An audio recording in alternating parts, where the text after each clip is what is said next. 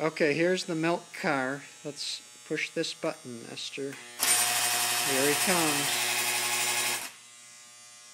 Let's get let's get the milkman to come back out. Oh, here's one jar. Ah! You did it.